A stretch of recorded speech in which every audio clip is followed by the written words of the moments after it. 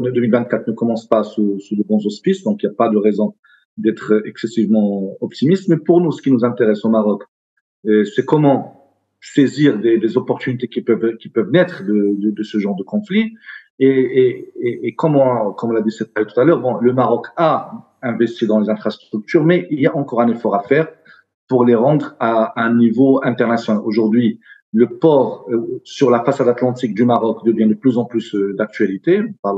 Du port de Darla qui permettra de capter une partie des, des flux aux côtés du port de, de Casablanca. Il faut continuer à investir dans, dans ces infrastructures.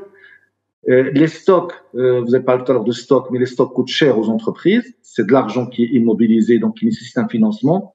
Nous sommes déjà dans des, dans des cycles de financement relativement, relativement restreints. Et investir dans des stocks coûte de l'argent aux, aux, entreprises, donc ça les force à recourir à des, à des financements, à des financements bancaires qui sont de plus en plus coûteux. Donc c'est une situation où, où on a beaucoup de contraintes avec lesquelles les dirigeants d'entreprises doivent, euh, doivent jongler. Mais d'un point de vue global, je pense que toutes les pressions seront, seront, seront mises en œuvre pour que ce conflit s'arrête.